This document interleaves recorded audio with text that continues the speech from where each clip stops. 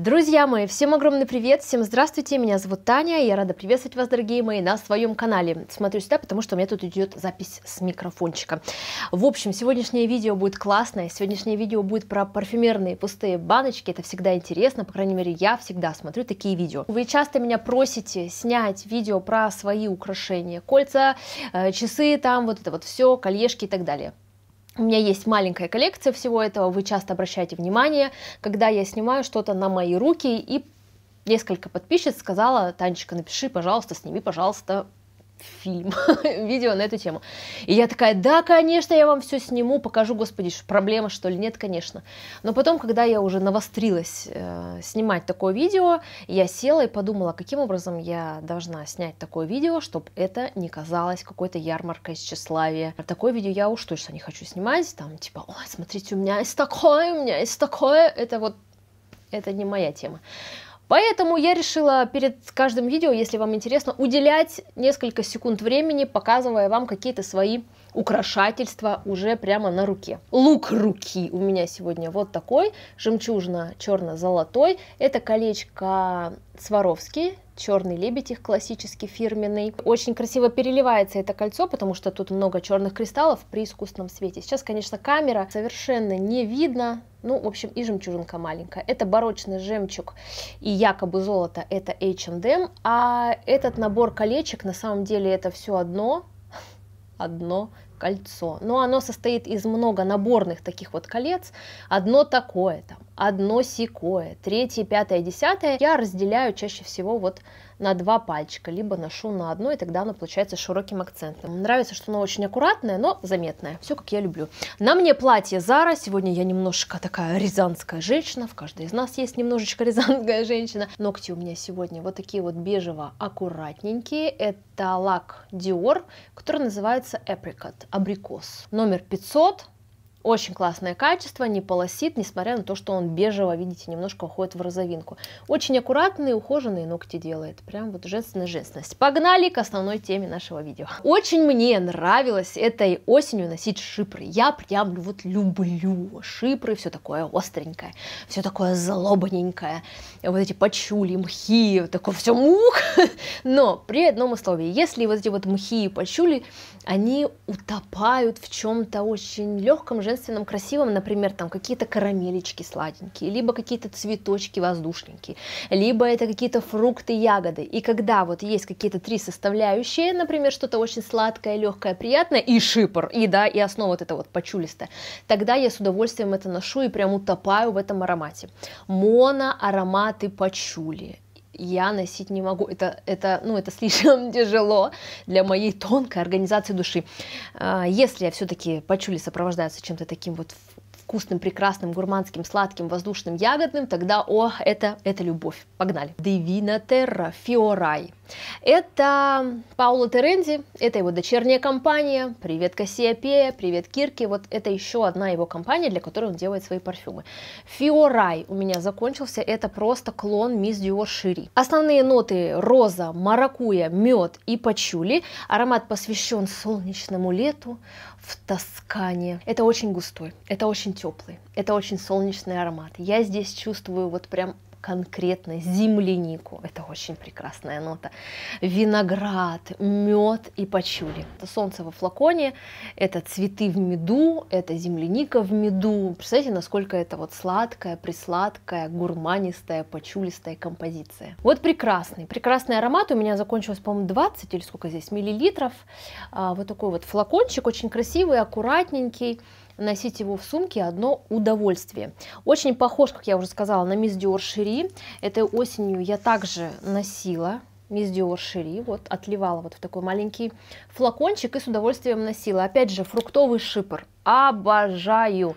Этот аромат у меня Мисс Диор Шерри 2006 года, жемчужина вообще в моей коллекции. Давайте по нотам. Вишня, клубника, ананас, попкорн, карамель, пачули, амбра. Ну, это сказка, конечно. Такая сказка. Почему показываю флакон не пустой? Потому что два вот таких вот флакончика, 10 мл, я с удовольствием сносила в сумочке, да, с собой брала а, по делам. С удовольствием носила. Это тоже солнце во флаконе. Это аромат, который, знаете, заставляет тебя жить, жить на всю катушку, улыбаться, радоваться – и действительно бодрит. Ну, как может не бодрить такой фруктовый букет, да, ананас. Представляете, какой он сочный. Земляника, клубника, вишня. Ну, это просто слюнки текут. Характер дают, конечно же, почули, такие вот влажные, мокрые. Это все вместе просто праздник, сказка, добрая сказка со смыслом. Этому аромату 15 лет, как я только с ним познакомилась, все, он у меня на полочке стоит.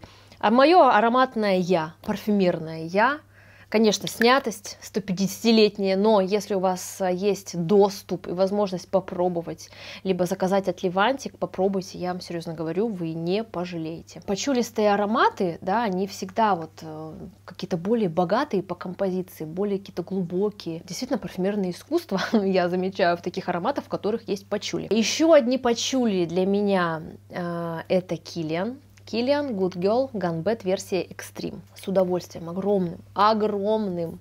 Сносила в отпуске. Вот такую вот маленькую миниатюрку, ну, как миниатюрку, да, 5 миллилитров. Боже мой, это просто прекрасное, него сладкое персиковое варенье. По нотам молоко, тубероза, нарцисс, амбра и кедр. Я от себя добавляю, что здесь очень много карамели и персиков, которые, как вы понимаете, не заявлены в пирамиде, но я отчетливо слышу их здесь. Для меня это моно персиковое варенье, такое наваристое, что прям с пеной вот такой вот 5-сантиметровой. Это стакан молока и влажные такие шершавенькие почули. Я обожаю просто, я просто обожаю этот аромат. Я когда смотрю на его цену в интернет-магазине, я плачу. Я плачу, потому что, насколько я поняла, этот аромат, это самый дорогой аромат из линейки Киллианов. Конечно, там есть разные категории ароматов, цены, но, по-моему, Good Girl Gone Bad версия Extreme это самый дорогой аромат аромат стоит 30, по-моему, 2000 рублей. Это самые прекрасные персики, которые я чувствовала в своей парфюмерной жизни. Он настолько чувственный, он настолько влажный, он настолько какой-то манящий,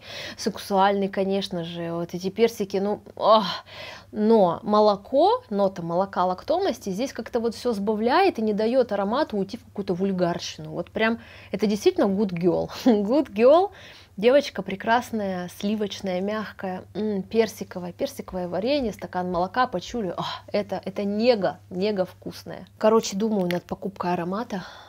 Мечтаю над покупкой аромата, не могу решиться. О, но он того стоит. Обязательно, девочки, знакомимся, знакомимся, заходим в корнер Киллиан, пшикаем на себя и чувствуем себя персиковым вареньем. И спила до дна я еще флакончик Коко Мадемуазель от Шанель. Это Eau de Parfum, как видите, по флакону. Давайте по нотам.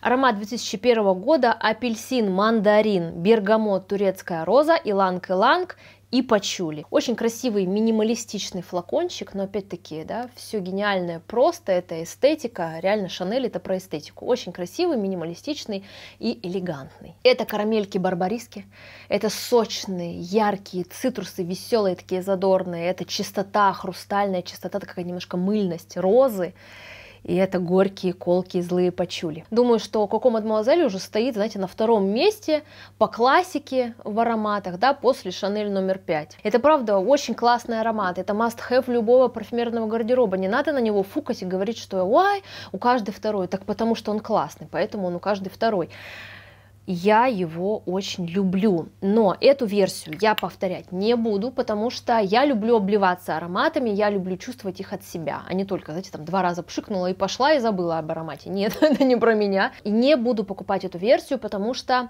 а, при многопшичности она меня поддушивает очень сильно колит мой нос, очень сильно колкая, злая версия, если эту, этот аромат перепшикать на себя. Двух пшиков, конечно же, хватает, идеальная концентрация, идеальный аромат, шлейф километровый, очень классный, чувственный и в то же время нарядный и казуальный, как я уже сказала, аромат. Но много пшикать на себя его нельзя, иначе он может придушить. Моя самая любимая концентрация Коко Мадемуазели это туалетная вода. Ее я обязательно буду повторять. Закончился у меня парфюмир, парфюмированный, парфюмерный э, гель для душа, который называется Йогнок. Это лаш. Это аромат карамели, это аромат теплого, солено-сладкого попкорна, горячего.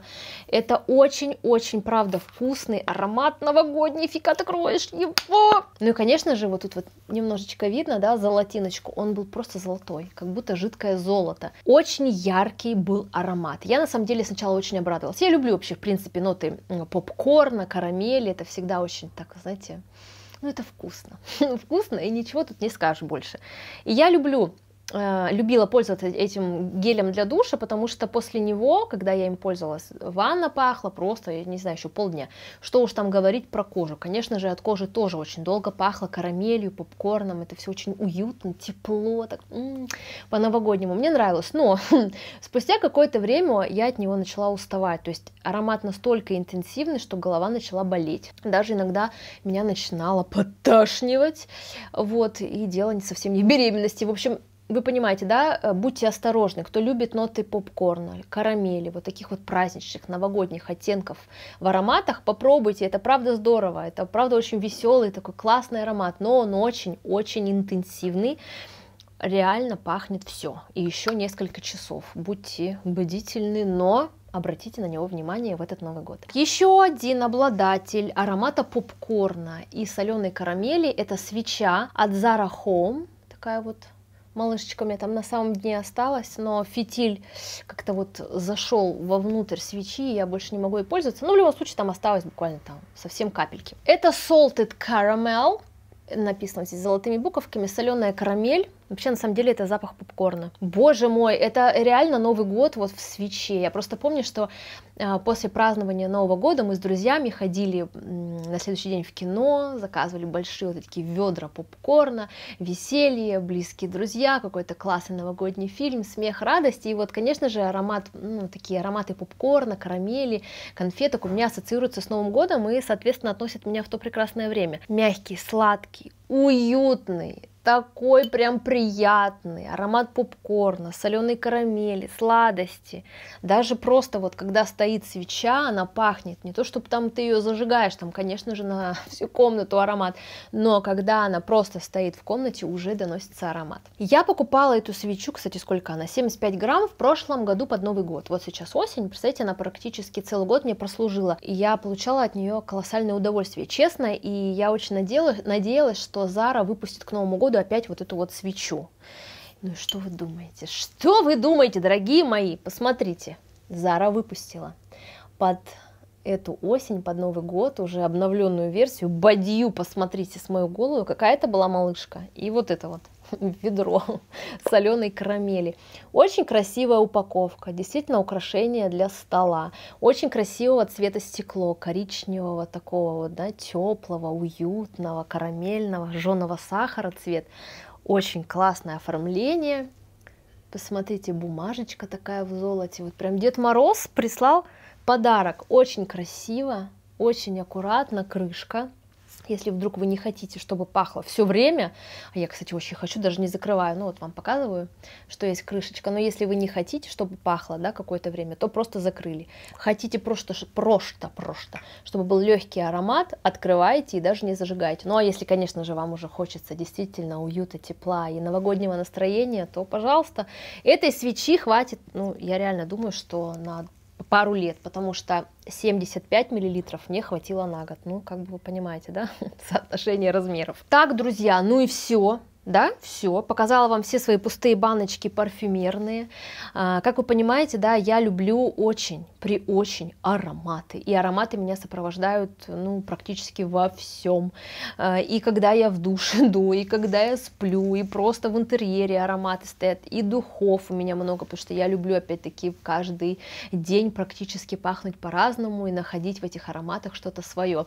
В общем, я желаю вам прекрасной, ароматной, теплой, уютной осени. Создавайте себе сами уют ароматами. Вот я вам очень советую пойти в Zara Home и попробовать их новогоднюю коллекцию. У них там есть имбирный пряник и соленая карамель.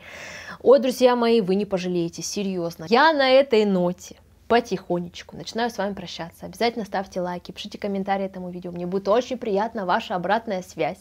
Я на этом с вами прощаюсь. До скорых встреч и пока-пока.